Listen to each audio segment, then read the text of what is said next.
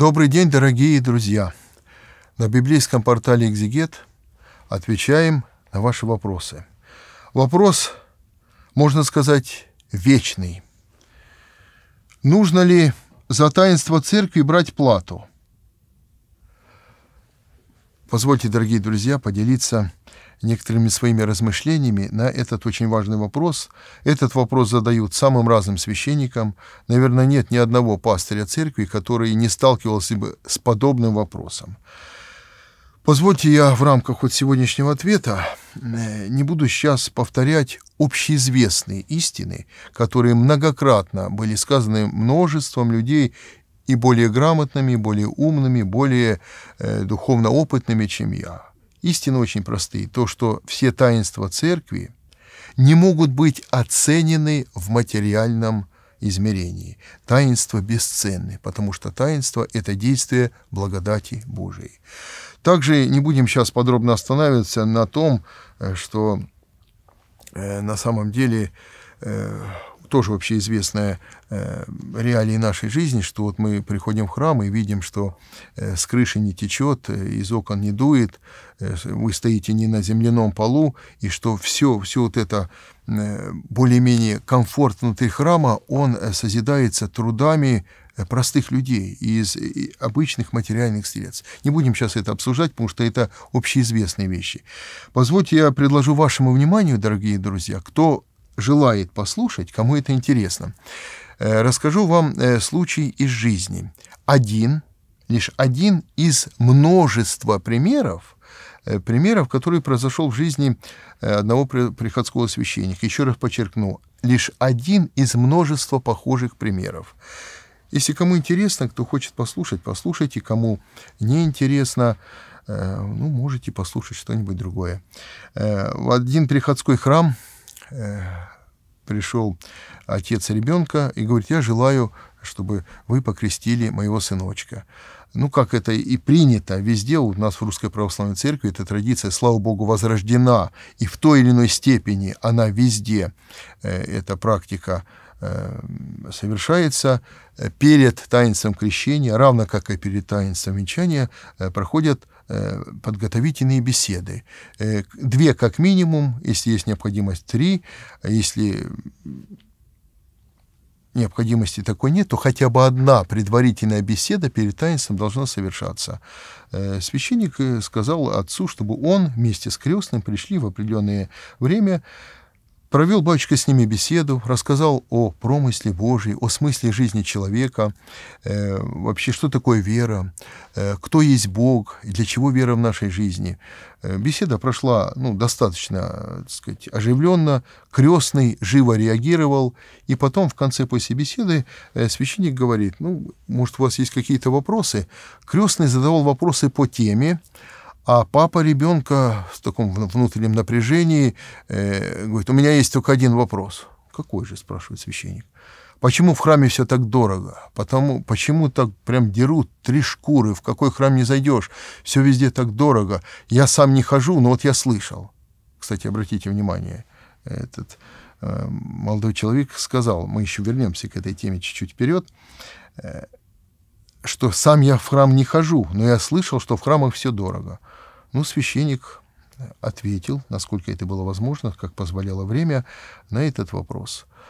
Договорились о следующей встрече. Во время следующей встречи уже э, священник старался рассказать о таинствах Святой Церкви. Что это такое, для чего они нужны в нашей жизни. Так же, как и в прошлый раз, крестный, то есть восприемник будущий, очень живо реагировал, задавал самые разные вопросы. Э, папа также молча в напряжении слушал, и э, в конце задал вопрос. Меня интересует, почему священники ездят на таких дорогих автомобилях. И начал перечислять э, различные марки автомобилей. Э, священник не силен был, так сказать, в знании автопрома. И, конечно, насколько мог, он пытался и на этот вопрос ответить. Договорились о времени, времени крещения.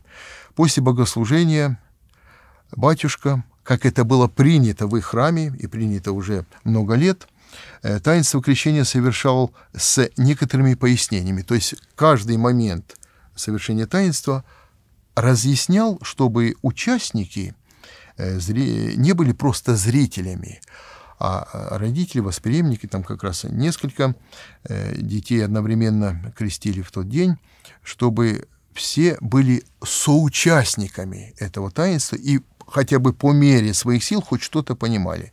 Когда таинство было совершено, э, деток одевают, кто-то плачет из детей, как всегда, кто-то э, уже успокоился. Батюшка э, закрывает крестильный ящик, закрывает требник и э, собирается уходить в алтарь. Э, поворачивается, смотрит, стоит папа этого ребенка. Что вы хотите, спрашивает его священник. Чем я вам обязан? Да мне вы ничем не обязаны. Вы э, благодарите Бога. Я хочу понять, чем я вас должен отблагодарить. Да, собственно, меня благодарить не надо, отвечает священник. Благодарите Бога. Слава Богу, что вот покрестили вашего сыночка. Вот ходите в храм, читайте Священное Писание. Хотя бы по одной главе Евангелия читайте каждый день. Приходите в воскресный день в храм. Хотите в наш, хотите в любой другой. Э, соблюдайте пост, исповедуйтесь. Ну, все то, о чем мы с вами уже говорили. Это все понятно. Вас я должен как-то поблагодарить за вот эту процедуру. То, что вы сейчас ребенка моего там окунули три, три раза. А вы хотите лично меня поблагодарить, спрашивает священник. Да, собственно, меня благодарить не надо никак. Вы благодарите Бога. Нет, я должен как-то вам заплатить, как-то вас отблагодарить. Ну, тогда священник говорит этому молодому счастливому отцу, счастливому отцу только что крестившегося ребенка, который, по словам святого апостола Павла, стал уже новой тварью во Христе. Священник ему говорит, если вы хотите лично меня поблагодарить, тогда будьте добры, ответьте мне честно на один вопрос. Честно. Если вы ответите мне честно на один единственный вопрос, вы меня полностью отблагодарите. Какой вопрос? Во время огласительной беседы вы упомянули, что во многих храмах обдирают как липку дорого берут за различные таинства и требы, хотя вы сказали, что сами вы там не были, но только слышали. Вот смотрите, сейчас вашего ребенка покрестили. После огласительной беседы вам подарили Евангелие.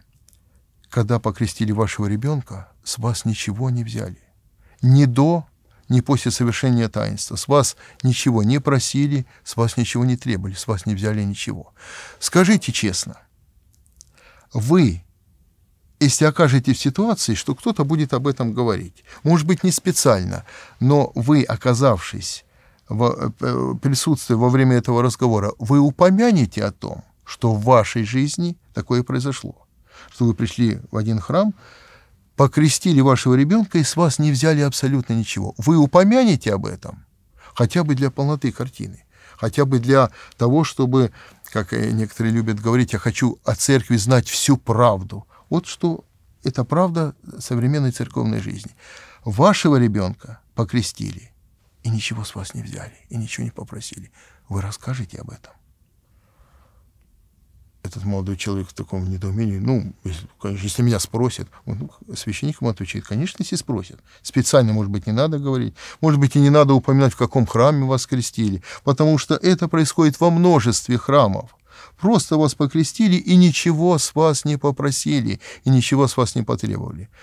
Единственное, что нужно, расскажите об этом когда-нибудь при случае, что и такое происходит, что таинство бесценны. И самое главное сокровище – это то, что ваш ребенок уже родился от воды и духа и стал новой тварью во Христе, что у него есть теперь надежда на вечную блаженную жизнь. Расскажите об этом. И вот, дорогие друзья, это лишь я вам поделился всего лишь одним случаем из множества, которые происходят в православных храмах. Таинство на самом деле не оценивается материальными средствами. Я знаю, что все, кто сейчас меня слушают, вы можете сейчас мне приводить множество примеров, можете возражать. Но я вам поделился одним из случаев из множества, как происходит в православных храмах. Совершается таинство – дарится миссионерская литература, таинство совершается с пояснением, чтобы люди понимали, что происходит, и никто ничего с них не требует. А вот скажите, теперь вопрос вам, кто пожелал послушать э, это свидетельство. Лично как вы думаете, в те храмы, где совершает таинство, и никто ничего не требует, никакой мзды, никакой платы. Вот как лично вы думаете? Просто интересно. В те храмы ходят больше людей, чем в другие, или нет? Как вы думаете? Точно вам скажу. Нет. Также э, хотя бы те самые люди, чьих детей крестили и ничего с них не взяли, родители таких детей ходят ли в храмы? Исповедуются ли они? Читают ли они Священное Писание? Молятся ли они дома? Вообще стараются ли они жить христианской жизнью? Скорее всего, нет. А почему? Значит, причина, например, твоего нежелания жить христианской жизнью, нежелание посещать богослужения, нежелание как-то вот свою жизнь упорядочить по э, евангельским заповедям, причина не в том, что где-то что-то очень дорого и где-то кто-то берет какую-то мзду. Не в этом причина. А причина гораздо глубже. Причина в собственном глубинном неверии Богу. И вот как раз на эту причину и стоит обратить внимание. Прежде чем претензии высказывать, и чаще всего, э, будучи движимы э, ну, слухами, потому что вот не случайно же, э, повествуя вам э, об этом случае, этот молодой человек сказал, сам я в храм и не хожу, но я слышал, что так происходит. Вот кто начинает сам ходить в храм, он сталкивается совершенно с другой реальностью. Он видит, как самоотверженно служат пастыри церкви. И сколько верующих людей действительно не за какую-то земную мзду, а за любовь ко Христу Спасителю трудятся при храмах. Чтобы узнать церковную жизнь, надо понемножечку к ней приблизиться и приобщиться.